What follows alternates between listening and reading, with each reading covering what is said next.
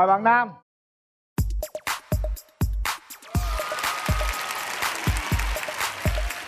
rồi chào bạn Rồi, mời bạn nữ giới thiệu về mình Dạ, em xin chào chị Cát Tường, chào anh Quần Linh và chào tất cả quý vị khán giả trong cấp trong khán phòng ngày hôm nay. Em uh, tên là Phan Thị Hoài Tiến, à, năm nay em 27 tuổi. À, quê của em là ở Quảng Nam nhưng mà hiện tại thì em đang sinh sống và làm việc tại thành phố Hồ Chí Minh ạ. Dạ. Mình đang làm công việc gì em? Dạ, hiện tại thì à, em đang là một điều dưỡng tại thẩm mỹ viện ạ. Điều dưỡng tại thẩm mỹ viện Dạ vâng ạ. Thành phố Hồ Chí Minh Dạ vâng ạ. Rồi, mời bạn trai giới thiệu Dạ, lời đầu tiên cho em ờ, xin gửi lời chào đến anh Quyền Linh, chị Cát Tường cùng ờ, toàn bộ quý vị khán giả có mặt trong trường quay ngày hôm nay. Em xin tự giới thiệu em tên là Nguyễn Tiến Hợp, à, năm nay em 27 tuổi, quê quán của em là ở Hưng Yên và hiện tại em đang làm việc và sinh sống tại quận 9 Hồ Chí Minh. em làm việc gì À, công việc của em là quản lý à, chuyên về bê tông và xây tô. bê Dạ. tông tức là vật liệu xây dựng Dạ, á đúng vật liệu không xây dựng ạ. Dạ. Điểm mạnh, điểm yếu của em là gì? Dạ về điểm mạnh của em thì ờ, rất là thẳng thắn và thật thà. Thứ hai nữa là em rất là chân thành, sống ờ, biết yêu thương người khác cho với lại yêu thương gia đình. Dạ. Còn nhược điểm của em thì cũng rất là nhiều. À, đặc biệt là em rất là nóng tính dạ nóng tính lắm luôn. Ở nhà mà em út ở nhà mà em đâu có dạy học được đâu chỉ là bé kế em nó dạy thôi còn em là không bao giờ dạy được bởi vì là sai cái là em nói tiếng một thôi còn qua tiếng thứ hai là dạ chắc là sẽ có đập. Trời ơi, ghê vậy. Em đập, có khi nào đập đồ, đập đạt gì không em? Dạ chưa ạ Chưa, Dạ. Cũng tốt, chưa đến nỗi nào Còn Dạ. được Bạn trai bên kia, ưu điểm, khuyết điểm của em là gì? À, dạ thưa là ưu điểm của em là một người à, sống và làm việc rất có trách nhiệm, người à, sống khá là chan hòa, thương yêu mọi người. Khuyết điểm thì em cũng hơi nóng tính một xíu. trời ơi hai người nóng tính hết trơn rồi chắc quýnh lộn luôn á Tình trường thì sao? Em trải qua mấy mối tình rồi con gái? Ờ, dạ chưa ạ. Chưa có dạ đúng rồi ạ chưa có ạ Lý do tại sao? thì cái lý do đầu tiên em nghĩ tới là do em cao quá Em Dạ. cao một mét mấy? dạ em cao một bảy ạ. Bởi vậy nãy giờ vô chị nhìn chị muốn ngước lên chị muốn mỏi luôn á, mỏi mắt luôn. Dạ. Quá cao. Dạ. Và cái lý do thứ hai mà em nghĩ đó là một cái lý do mà cũng quan trọng là sau khi tốt nghiệp xong là em vào trong Sài Gòn em làm mà em làm điều dưỡng trong một cái trung tâm cai nghiện á. Ồ. dạ đúng rồi. Thì cũng chính cái môi trường đó là nó làm cho em có một cái um, cái cảm giác là mình đi ra ngoài á. Mình đi ra ngoài mình nhìn thấy uh, người khác mình sợ. Tại vì lúc mà vô trong trại cai thì ai cũng như nhau. Nhưng mà lúc mà họ cai xong họ ra là lên đồ lên xe là chị thấy nó rất là đẹp. Nhiều người đẹp trai lắm luôn ấy. Nó thật sự là đẹp trai lắm luôn. Con nhà giàu có nhưng mà cuối cùng họ vẫn đi vào con đường nghiện. Nó làm cho em có cái cảm giác là mình Sợ luôn. Mình sợ luôn. Có nghĩa là đi ra đường mình thấy là ồ rồi không biết là anh ta có có nghiện hay không? Rồi có nghiện rồi có có chịu đi cai rồi này kia hay không thì làm cho nghĩa là em bị bệnh nghề nghiệp ảnh hưởng đến dạ. tình yêu. Nó ảnh hưởng em rất nhiều là nguyên một cái giai đoạn đầu cũng phải là hai năm sau khi mà em vào trong cái môi trường đó em làm. Thì em mới có cái cái tư tưởng nó giãn giãn bớt ra. Tại vì cũng có người cai cai nghiện thành công chứ không phải là không. Cũng khổ tâm quá ha. Cái môi Dạ trường vâng làm ạ. việc cũng hạn chế trong cái tình yêu. Em gái em muốn tìm người yêu thế nào dạ mẫu người yêu của em Chắc là trước hết phải cao quá. Dạ đúng rồi. Ờ, cao ít nhất là phải mét bảy bởi vì Em, em coi bên là kia nhưng hỏi đi em hỏi bên kia. Dạ anh anh cao một mét bao nhiêu ạ? Bên đây khoảng mét rưỡi. Dạ. Một mét năm mươi mốt là cùng. Dạ nếu như một mét năm mốt mình có thể mang giày độn anh ạ. Không sao đúng không? Dạ. Rồi. Thứ hai nữa là không được đẹp trai quá. Sao vậy? dạ tại vì người ta nói là chồng đẹp là chồng người ta. Kệ đi chị thích đẹp. Chẳng may đẹp trai có được không em? Chẳng may đẹp trai được không em? Ờ, dạ chẳng may anh đẹp trai thì em đẹp gái là mình hai mình xứng, xứng đôi rồi anh ạ Ồ. Rồi Dạ. còn gì nữa không em? anh ơi anh có ờ, có từng nghĩ tới ờ, ma túy không ạ chưa thấy ai đi tìm mà hỏi anh có ma túy không Thông cảm đi, người ta làm trong môi trường ờ, đó mà cho em tại vì là bệnh nghề nghiệp của em anh Anh ờ, chưa bao giờ nghĩ đến những cái thứ tệ nạn xã hội ạ. À, Anh ờ, dạ.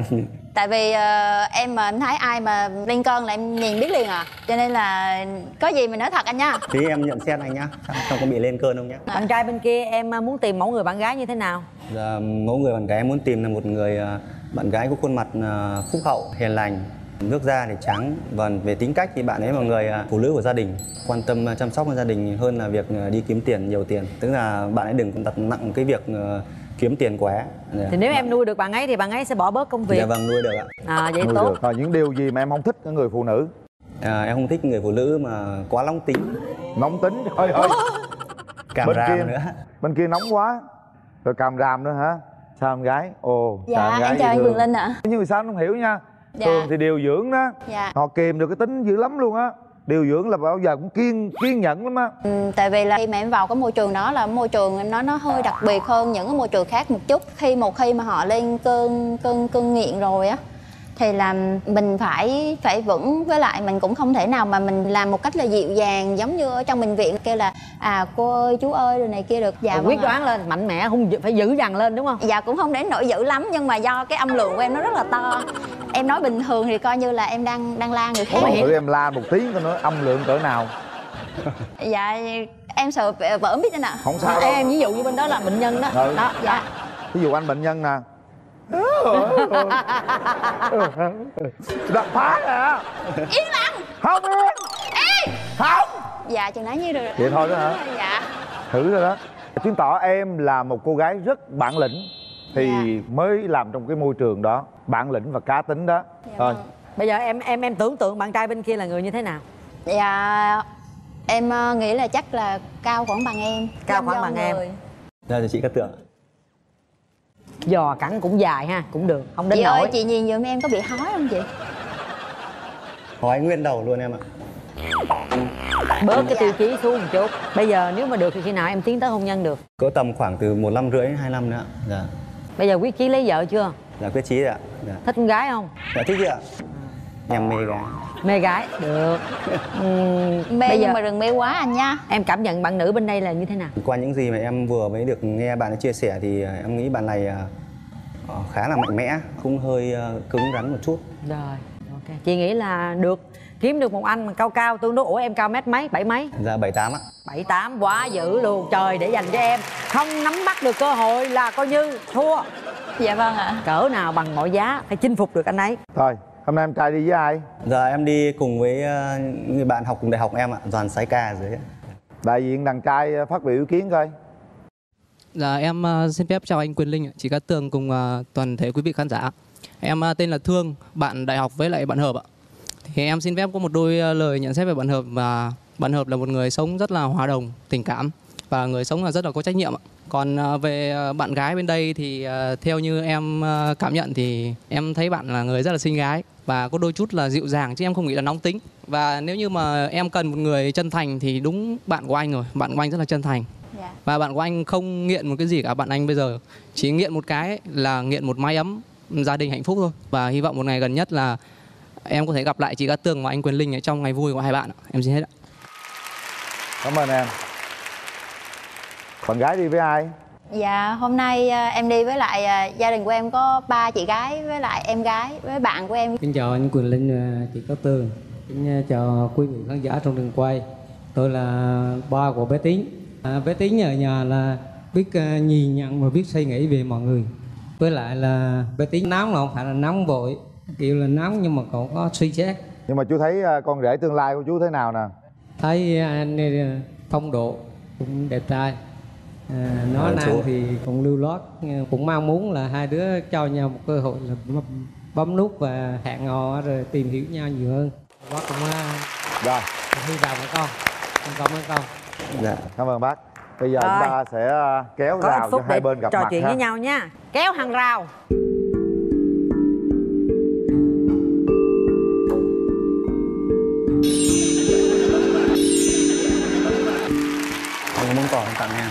dạ em cảm ơn ạ. Tôi không nghĩ hai người này mà ế ta gặp ngoài đời không thể nào nghĩ là họ ế nhưng mà thật trong sâu thẳm thì họ ế thật. Nào Trò chuyện với có nhau đi hai bạn. trò chuyện bắt à, đầu. em có nhận xét gì về anh? Ờ, em cảm thấy anh sao? ngoài sức tưởng tượng của em. À, là xấu quá hay là dạ không Ờ, nhìn rất là phong độ và nhìn rất là đẹp trai. À, dạ. Vừa anh có nghe em chia sẻ ấy em là rất là nóng tính đúng không dạ đúng rồi nóng rất là nóng tính.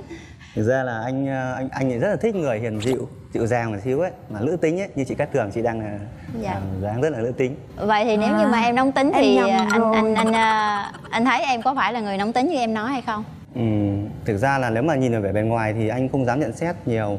Bởi vì là mình phải tìm hiểu sâu thì mình mới nhận xét về người ta cụ thể. Nhưng mà cái nóng tính ấy bên ngoài thực tế là nó không có tốt. Dạ. Bản thân anh cũng là người rất là nóng tính anh thẳng tính nữa cơ nhưng mà sau khi anh ờ, ra ngoài anh làm việc thì anh nhận thấy cái điều đó nó không ổn chút nào nên là anh đã thay đổi bản thân mình hàng ngày Vâng ạ, về việc mà kiềm chế thì là em nghĩ là em làm rất là ok bởi vì là môi trường của em là ờ, khách hàng, khách hàng là thượng đế. Vừa em thì bây giờ là tim đấy. Dạ. Anh thì yếu tim dạ cho nên là không phải là mình nói là coi anh là một khách hàng nhưng mà là bởi vì là khi mà hai người mình nói chuyện với nhau thì một người nóng thì có phải có một người kia dịu lại. Thì em cũng hy vọng là nếu như mà sau này lỡ có đôi lúc mà em có hơi nóng tính một chút xíu thì anh phải là một người ờ, đóng vai trò là lạnh để cho em có thể là giảm bớt nhiệt độ xuống. Lạnh như băng được không em? Dạ. Vậy thì càng tốt bởi vì khi lạnh như băng vậy là nhiệt độ của em hạ nhanh lắm. Rồi chúng ta Dạ. nói chuyện hẹn hò đấy các bạn Quan niệm tình yêu của anh là như thế nào? Ừ, quan niệm tình yêu của anh là khi mình yêu nhau thì cứ hãy cứ yêu bằng tất cả con tim, bằng tất cả những gì mình đang có. Dạ Còn à, nếu mà chẳng may mà không đến được với nhau nữa thì nó do cái số phận. Dạ. Mình à, cũng vui vẻ thôi, cũng không đừng có bi lụy quá. Dạ. Thì theo anh nghĩ nó thoáng hơn một chút. Còn quan niệm tình yêu của em là Em nghe một câu nói rất là hay Chúng ta chỉ mất 3 giây để nói lời yêu Nhưng mà chúng ta mất ờ, cả đời để mình xây dựng vun đắp và phát triển cái tình yêu đó Dạ À, anh xin lỗi là vừa em nói Dạ. hơi nhỏ, anh ờ, chưa nghe được em làm ở chỗ chỗ nào nhỉ? Dạ em làm ở thẩm mỹ viện thiện mỹ ngay chỗ ờ, quận 1 ngay chỗ cầu ông lãnh anh Anh À, biết cầu ông lãnh à? không? Anh không biết đâu nhưng Google Maps chỉ. Dạ đúng rồi ở, à, Anh ở quận 9 là ở chỗ nào ạ? Anh ở chỗ ờ, Long Thuận, phường Trường Thạnh, quận 9. Dạ ở chỗ đó anh đi qua ờ, Nếu như một qua chỗ em là ở thì cũng gần Một qua chỗ làm cũng gần đó rồi dự định tương lai thế nào các bạn Hôm nay mình đến với nhau ờ, chương trình đã cho mình một cơ hội như này á. Dạ Thì ờ, nếu mà em cảm thấy anh ờ, là một người người mà có một chút gì đấy làm cho em rung động thì ờ, anh nghĩ là mình nên cho nhau một cái cơ hội đó để mình tìm hiểu sâu hơn. Dạ vâng ạ bạn nam hãy nói một cái điều gì đó trong lòng mình để cho thuyết phục được bạn gái Anh không hứa là chắc chắn là sẽ cho em những cái gì ờ, cụ thể nhưng mà anh hứa sẽ dùng tất cả những cái gì gọi là bản lĩnh đàn ông rồi tất cả những thứ anh có để chở che và bao bọc cho em. Dạ vâng ạ. Rồi hết thời gian.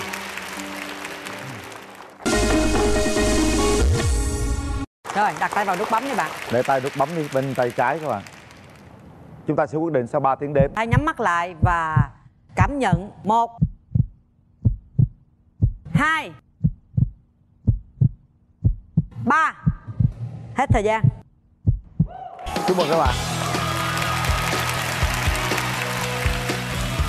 quá Hồng. sát chào nắm tay đi đẹp em. trai đẹp gái ha. Em lo hôm nay em mang dép cầu phân này thuộc về siêu mẫu đó. Này để Dạ. con chắc cao lắm nha. Rồi. Xin phép xin phép.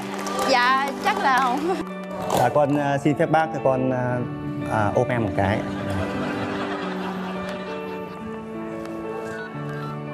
hôn được. nữa hôn nữa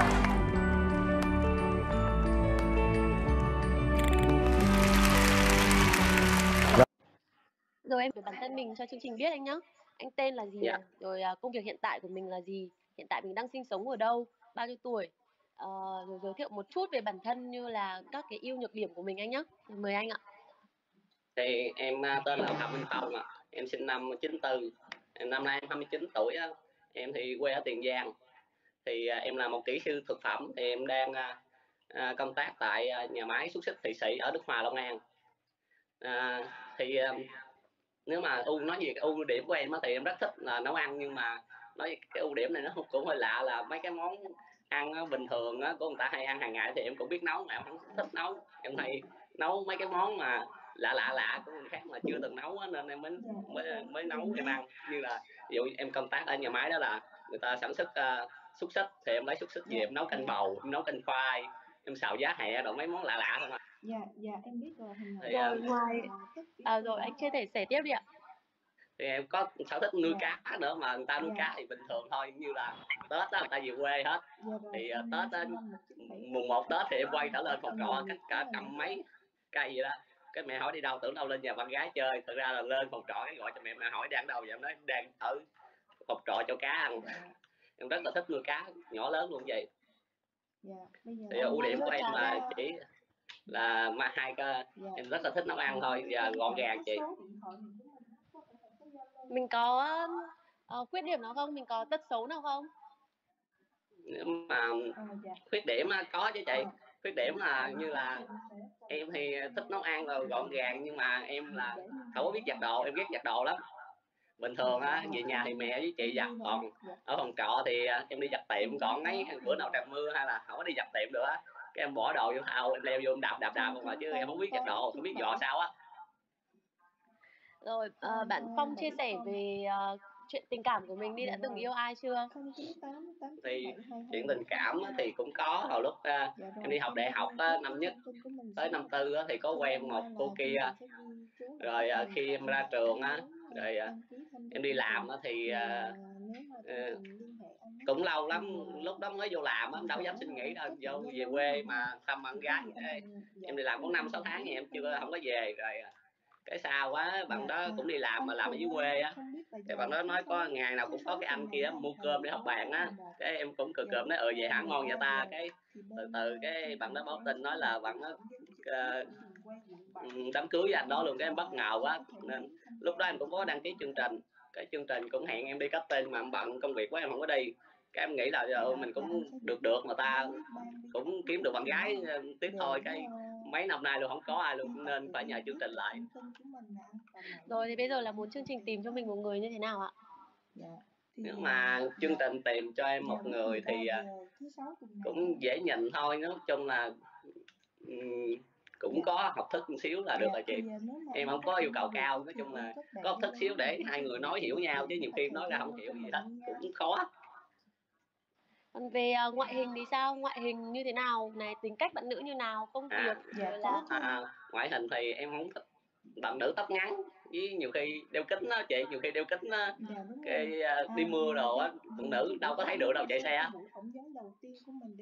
rồi ờ, quê quán của bạn nữ thì sao quê thì ở vòng vòng ờ, khu vực ờ, ở trong nam là được chị. Ok Ờ, bạn phong là cao một mét bao nhiêu nhỉ?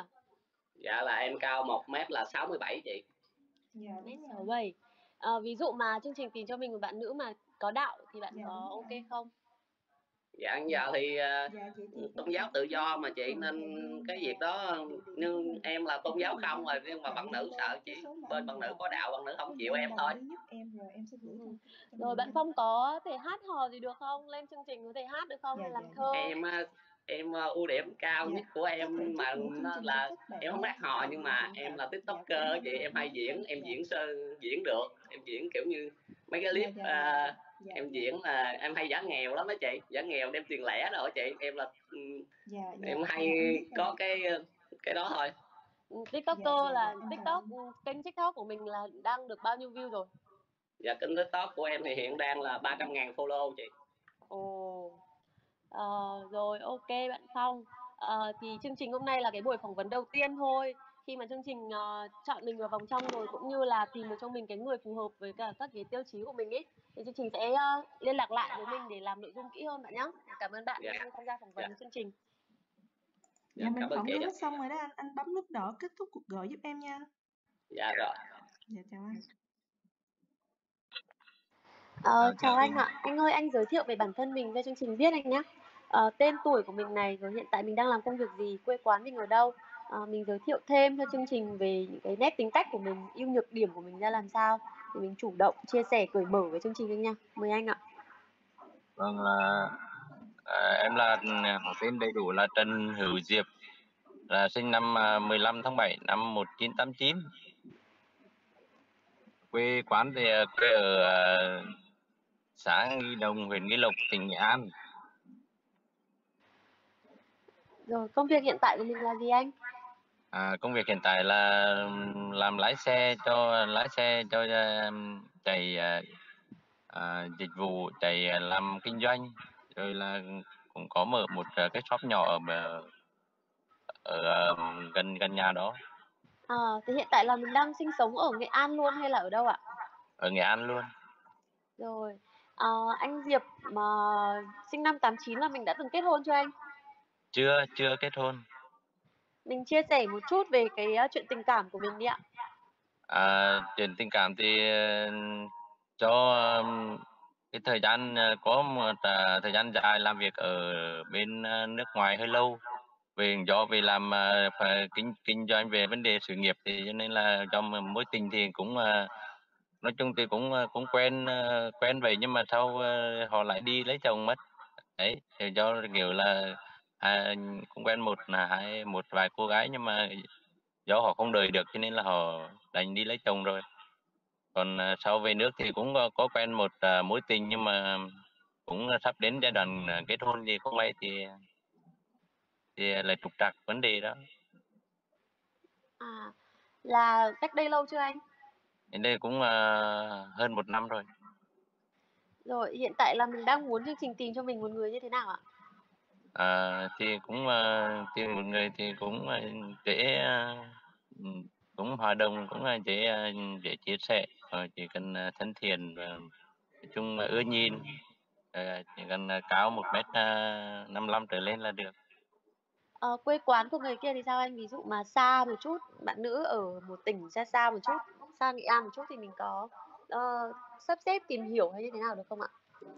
Thì uh, theo ờ, nghĩ là ừ, xa gần đi thì ờ, thời đại bây giờ thì xa gần cũng cũng không thành vấn đề đâu chỉ không thành là vấn đề là gì chỉ chỉ cần là ừ, à, đối phương cho cơ hội mở lòng cho cơ hội để mình tìm hiểu rồi là đi đến kết hôn là là quan trọng nhất thôi À, rồi, chương trình mình thì à, ghi hình ở trong Sài Gòn cơ thì không biết là uh, nếu tìm được cho mình người phù hợp là mình có thể bay vào để ghi hình được không anh? Có thể chứ có thể bay vào được mà. Nếu chỉ cần cho thời gian báo trước sớm để chuẩn bị à, để có thể bay vào được mà. Rồi, ờ, ngoài những cái ờ, tiêu chuẩn vừa rồi ra thì còn cái lưu ý gì khác mà anh không thích một người phụ nữ như thế nào ạ? Ừm, thì à, nói chung là về về à, về một người con gái thì à, một người phụ nữ thì à, không thích họ à, nói chung họ, họ quá độc đoán hoặc là cá tính chẳng hạn cũng không thích lắm. Chỉ à, chỉ, à, thì cái à, những cái mà phụ nữ mà quá mạnh mẽ cũng không thích Rồi bạn nữ mà theo đạo thì ờ, có được không ạ? theo đạo thì cũng tùy chứ theo theo đạo thì cũng, cũng quan trọng là họ bên bên bên họ có chấp chấp nhận mà mình bên mình bên lương hay không thôi À nghĩa là ờ, mình cũng sẽ không cải tạo theo họ đúng không ạ? đúng rồi Rồi, rồi cảm ơn anh ờ, Diệp. Thì hôm nay là cái buổi casting đầu tiên của của của chương trình thôi. Thì, ờ, khi mà chương trình tìm được cho mình cái người phù hợp rồi thì chương trình sẽ liên lạc lại với mình để mà có một biên tập riêng làm nội dung cụ thể hơn với anh nhá. Cảm ơn anh Rồi. ờ, tham gia phỏng vấn với chương trình ạ.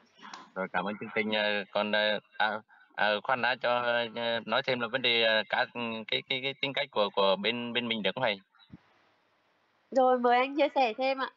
à, chia sẻ thêm là nói chung là bên bên mình thì cũng là cũng rất là về, về bản chất thì ờ, thân thiện Ờ, cũng là đấy là điểm mạnh điểm điểm yếu thì điểm mạnh là ờ, vấn đề là cũng hòa đồng cũng vui vẻ rồi cũng là thích ca hát nói chung là cũng niềm đam mê cũng, ca- hát cũng là cái điểm mạnh mà khi cùng lúc sống ờ, khó khăn đấy thì cũng hay livestream trên mạng cũng ca hát trên mạng đấy À rồi, để Rồi. ờ, mình ờ, chuẩn bị một bài hát để nếu mà được chương trình ờ, chọn vào vòng trong thì mình ờ, thể hiện trên sân khấu để gây ấn tượng với bạn với bạn nữ anh nhá.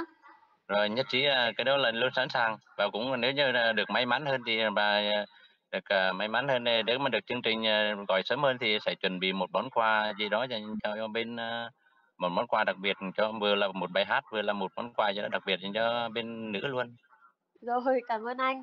À, À. rồi buổi phỏng vấn của anh kết thúc rồi đấy ạ. Cảm ơn anh ạ. rồi, rồi cảm ơn chương trình nhiều nhé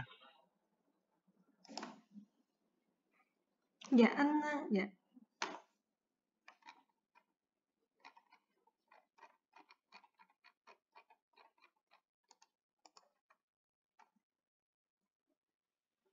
Dạ em chào anh Trường ạ.